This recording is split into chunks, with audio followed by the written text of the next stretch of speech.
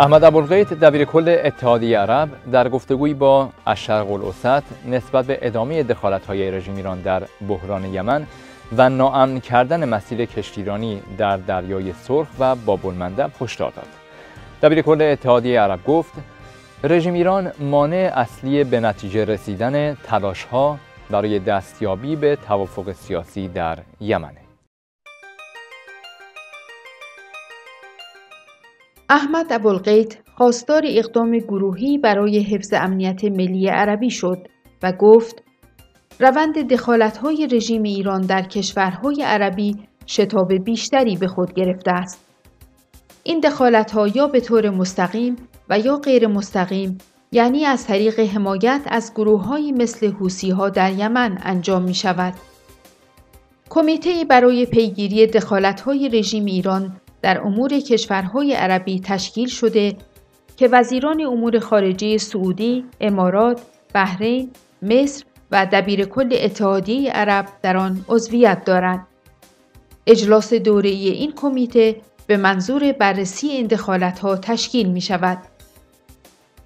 دبیر کل اتحادیه عرب تاکید کرد مشکل اصلی تهدید رژیم ایران در منطقه عربی است.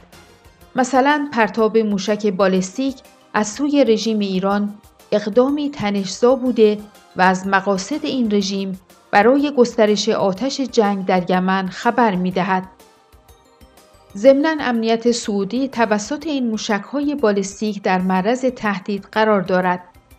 رژیم ایران با پرتاب این موشکها قطنامه های شورای امنیت درباره بحران یمن و نیز در خصوص برنامه موشکی خود را زیر پا گذاشته است. ابوالقیت همچنین گفت ایجاد ناامنی در مسیر کشتیرانی در باب المندب و تنگی هرمز و تاثیر آن بر دریای سرخ از دیگر تحریکات رژیم ایران است. من بارها درباره موضوع ایران صحبت کردم و گفتم که برجام باید مفادی درباره رفتار رژیم ایران در منطقه را در بر گیرد و رفتارهای مداخل جویانه نباید امنیت ملی عربی و امنیت و ثبات برخی کشورهای عربی را در معرض خطر قرار دهد.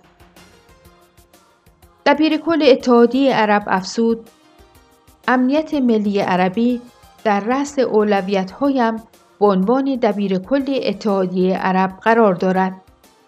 من معتقدم که این موضوع باید مورد توجه قرار بگیرد و راه کارهای مؤثر و واقعی در این راستا در پیش گرفته شود و در حد حرف باقی نماند. بنده طرحی را به وزیران امور خارجه کشورهای عضو اتحادیه پیشنهاد کردم که باید در این باره رایزنی صورت بگیرد. این موضوع مهم و سرنوشت سازی است. آینده ما در جهان عرب به آن گره خورده و نباید نادیده گرفته شود.